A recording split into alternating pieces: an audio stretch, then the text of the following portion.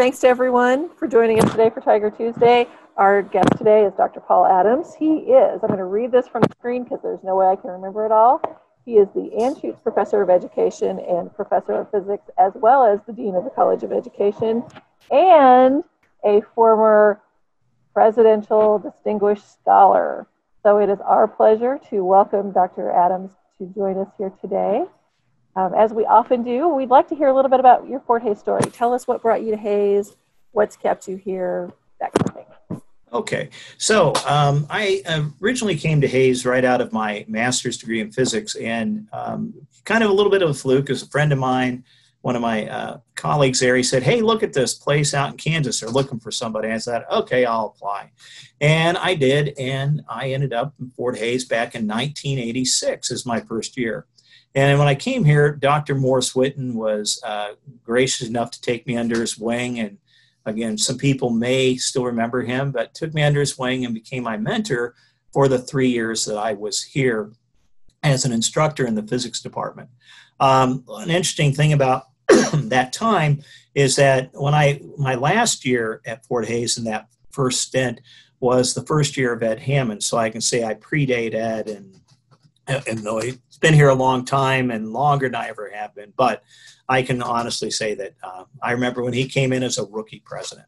Well, after that, excuse me, in '89, um, I went on to another institution to work and also go get my uh, PhD in science education at Purdue University. And then when I finished, um, Morris Witten and then also Luke Kaplan contacted me and said, Paul, why don't you come back to Fort Hays? It's a great place. And with Morris that time, one of the things that he and I had talked about back in the 80s was putting together a science center or something like that. Said, Paul, come back and we can work on that. And so in 96, I came back here with my family and was in the physics department and then took the distinguished professorship over in education to work there and then eventually as a dean. Um, the interesting thing, it, for me at least, on that is that I, I, really feel committed to Fort Hays, and part of it, uh, though I had a couple opportunities to leave, but I stayed here. And at this point, we officially, with the this year's commencement, have five degrees that my family has earned at Fort Hays. My wife is uh, Cheryl, has her EDS and her master's degree from Fort Hays, and then my daughter Megan has her bachelor's and master's, and my son David his bachelor's uh, that comes up for him. But then I have two in progress somewhere.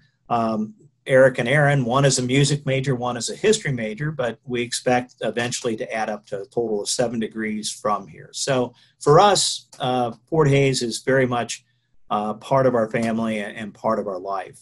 And you know, part of what's kept me here is the fact that at Fort Hays, you can be creative, you can be entrepreneurial, and um, that probably has been the biggest driver of why I've stayed here and have uh, passed on opportunities to leave in the in the past.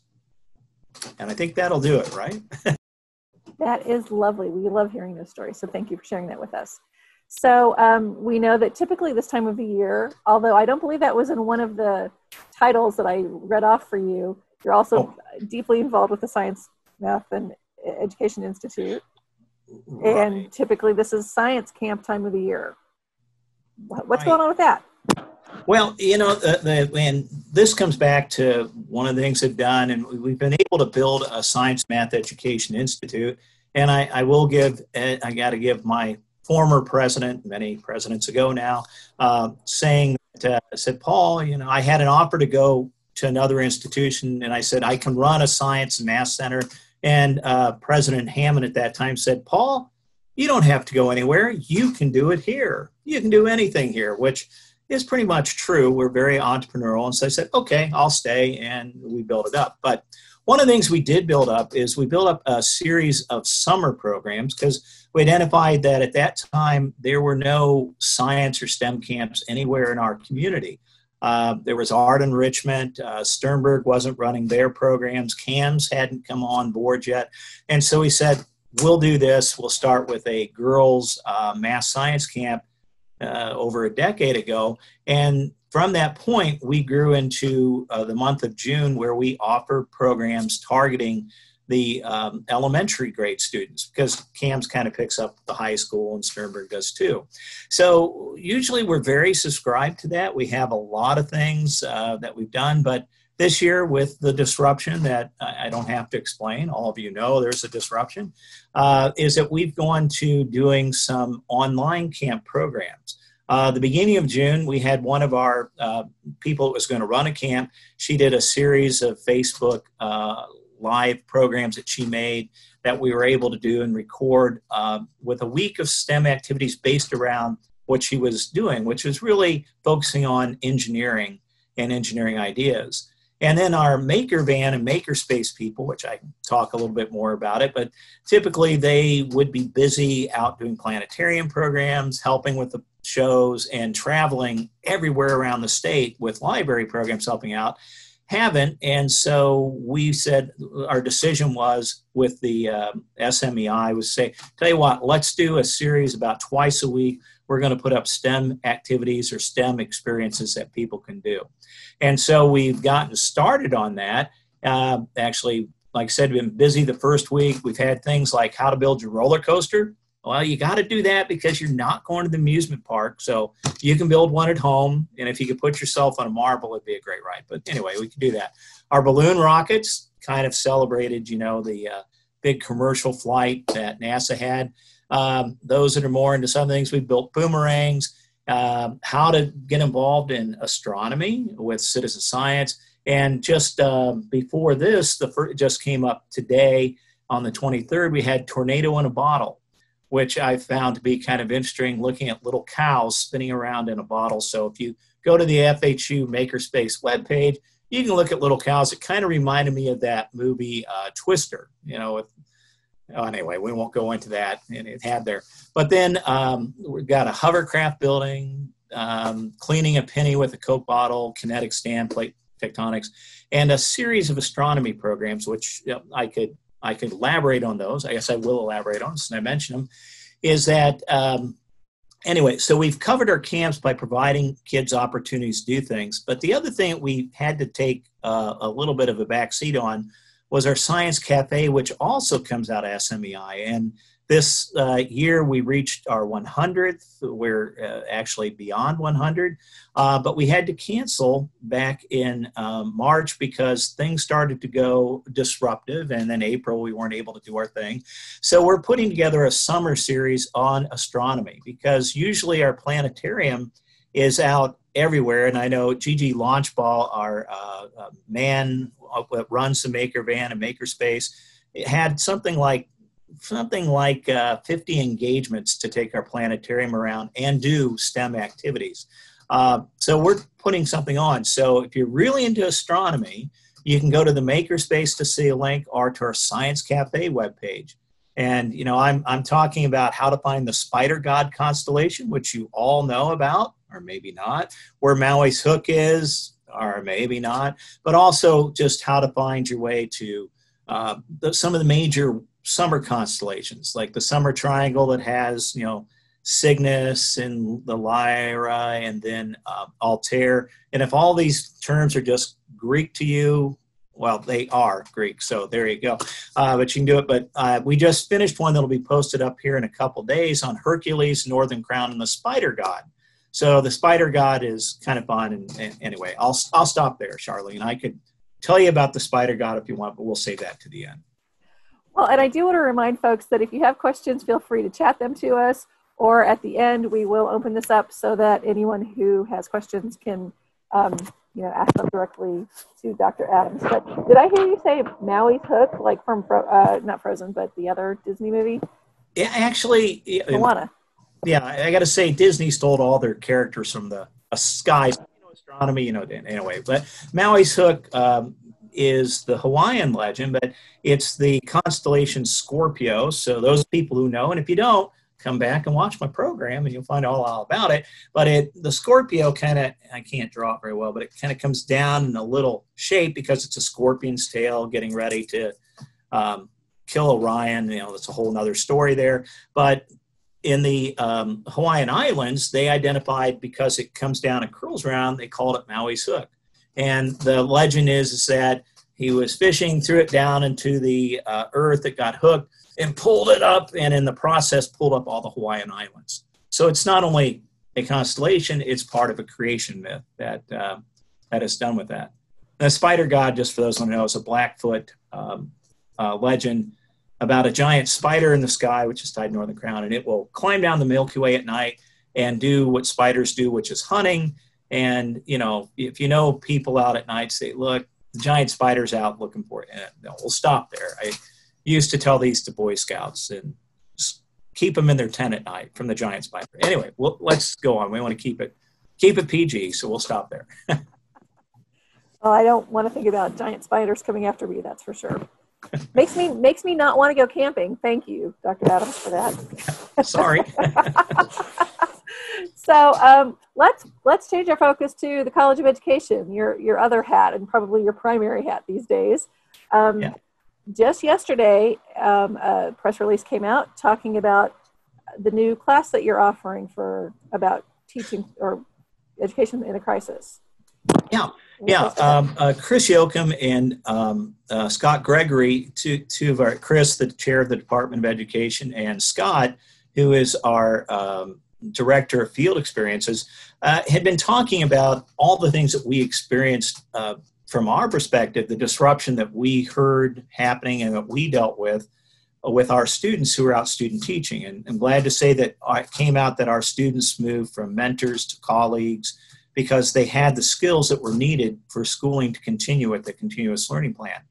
But their experiences of talking with superintendents and principals and teachers realized that, uh, that there was an opportunity here to help uh, lead school leaders by putting on a leading through crisis course. And if you do know some people that are interested in it, it's it's very good. Um, Scott has been researching it. He's been sitting in on several state committees and looking at what skill set do you need and what sort of um, attributes can help you succeed in a crisis management situation.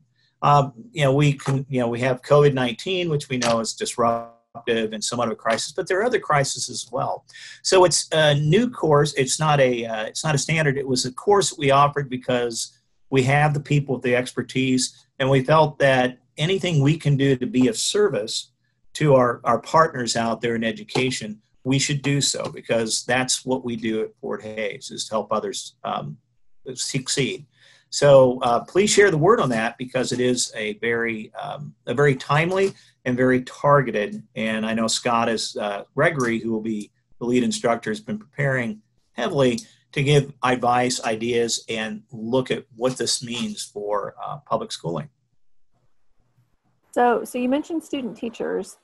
Yeah. What was that experience like for them, and for those of you who placed them? You know, as things shut down over the spring semester.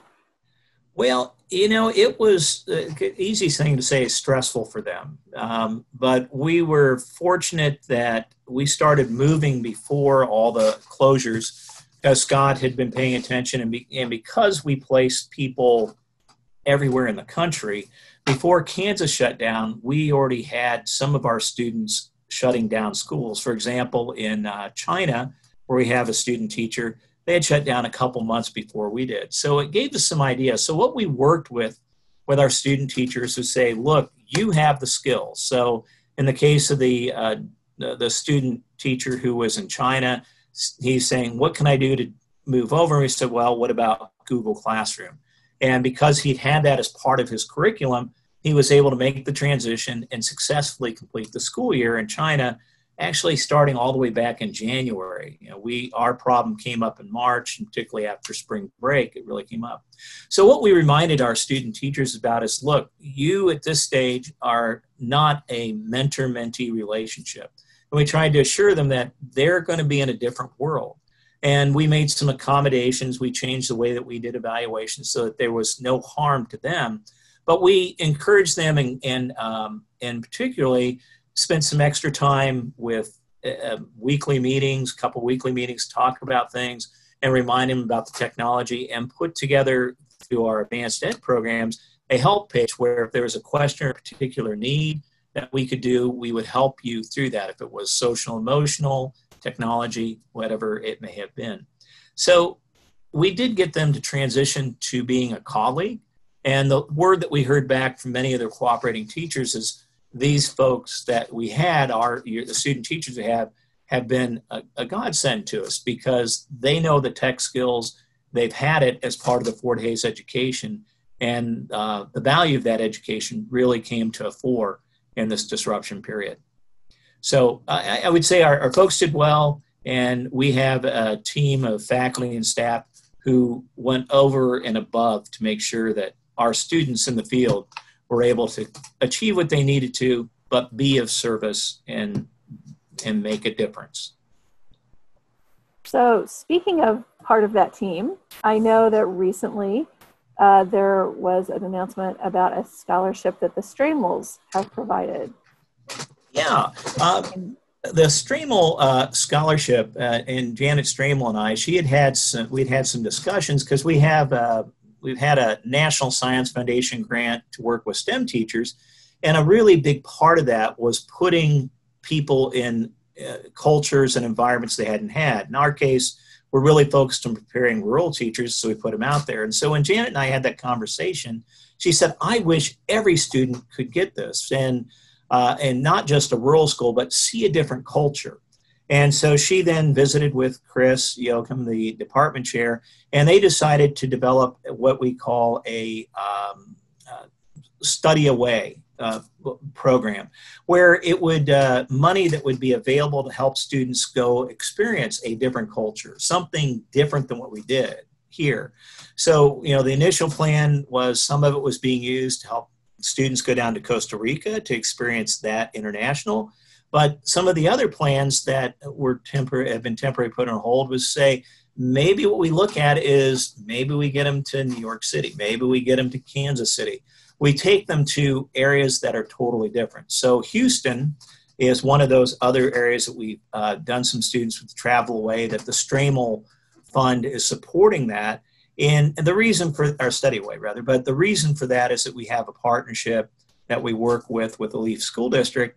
And so we want students to see that. And what we're finding is, you know, we're, we're preparing our students not just for the job when they leave, but for the job they're going to have three and five and 10 years down. And so by giving a chance to experience different cultures, it strengthens them and it also enables them wherever they go to bring new outlook and new ideas to serve the communities that they're working in. So you mentioned the Alief partnership. Sure. Can can you? I think people might be surprised to hear that we have a partnership in Houston, Texas. Can you tell us how that came to be and, and what that partnership entails?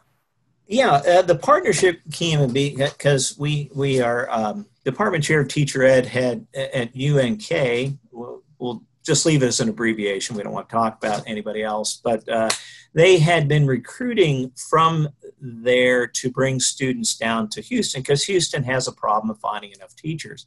Uh, but that relationship was established, and so the opportunity came when they talked with Chris Yoakum, who said, "Hey, we've got uh, we would like to recruit from you.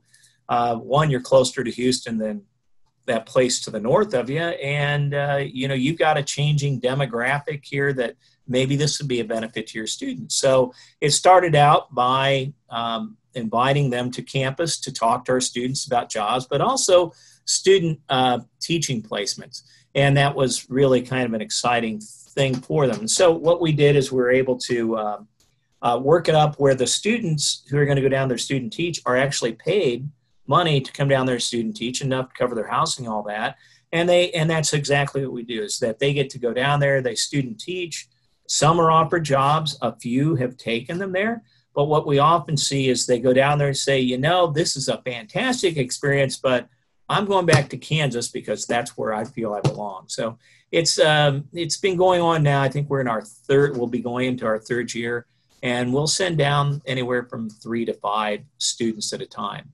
But uh, they're coming back, coming back enriched. So it's working out well for us and the students. And the students. And the students. So that's that is all. Last last bit cheaper for them because they get enough money to help cover the student teaching. That's great. That's great. So um, I just want to remind everyone that if you have questions, feel free to chat them to us, or here in just a couple minutes, we'll open it up to everyone else. Um, you know, the old-fashioned way as best we can. So um, I, I, know that you were involved with um, CAMS since its beginning. We'll probably have another session all about CAMS in general, but can you tell us about the beginnings of that program and, and you know, what your interest was in that? Uh, yeah. Um, and probably even what CAMS stands for, because, you know, we use okay. acronyms all the time and maybe we shouldn't.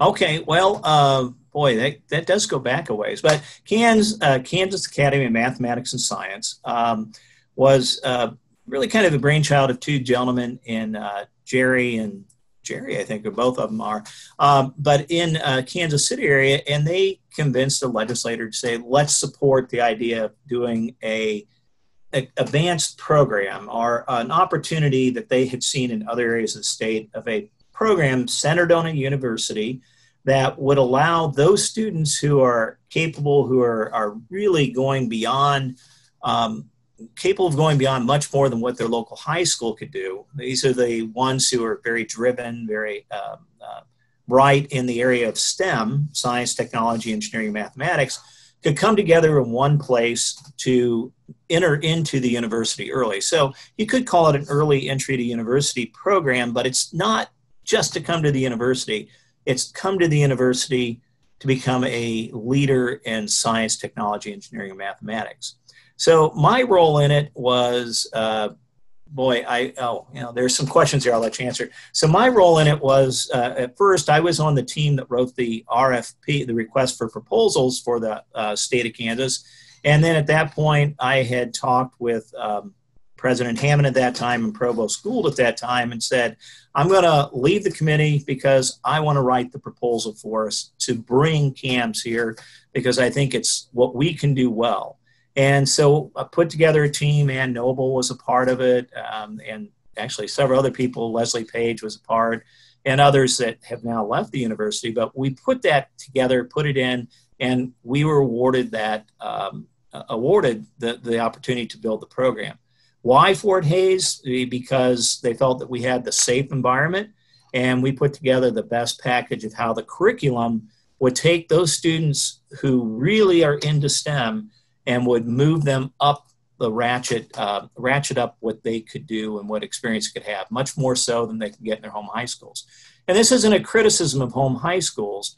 It's just that there are those students who are ready to go faster and further and are so um, focused on what they want to be that this is really where they've come. So I've watched that. I was a part of it. I used to teach a research course on it.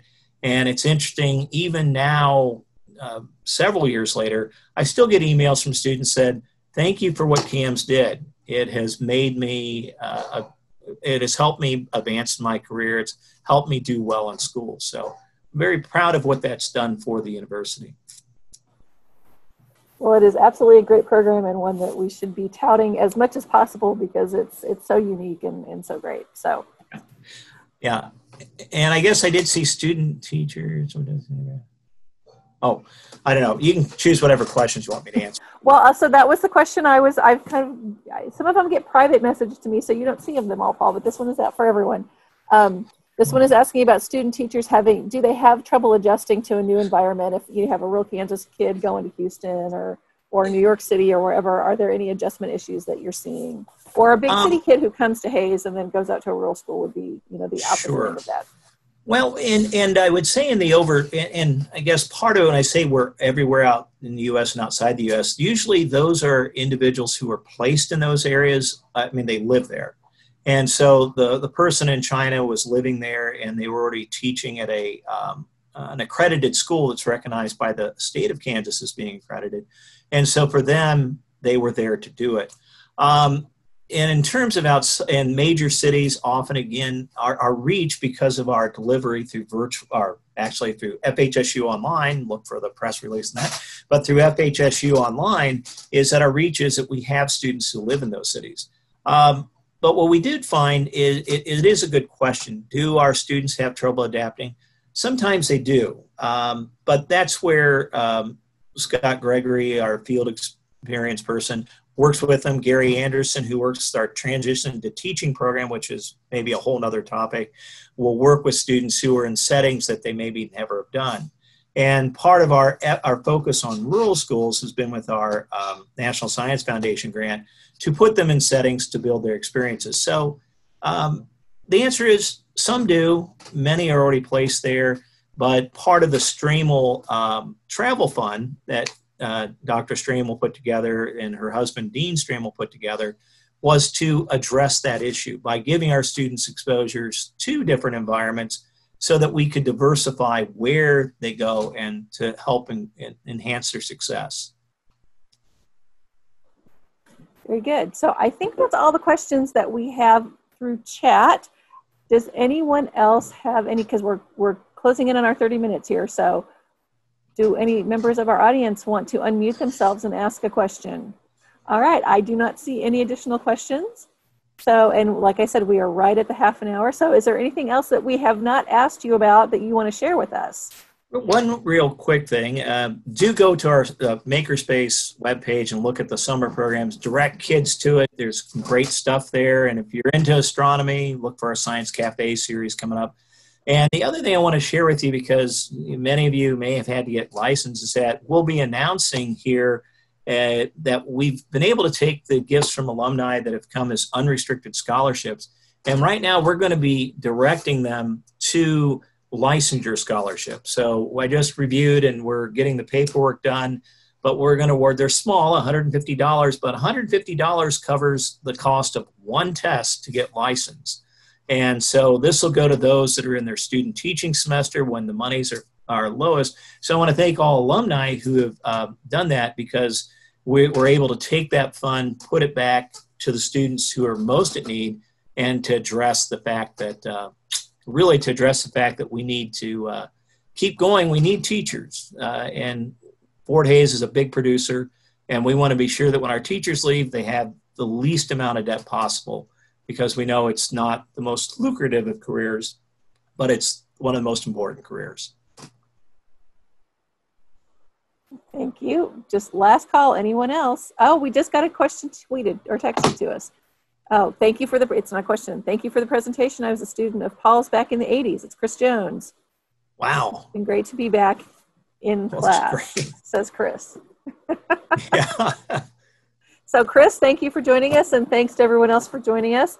Um, next week, we'll be joined by yet another person from the College of Education, Dr. Beth Walliser. Um, we'll see how many yippee skippies we can get from her throughout the course of our presentation next week. So hopefully we'll see you all again on, on Tuesday of next week. And until then, uh, thanks again to Dr. Adams and all of you for joining us. Thank you. Bye.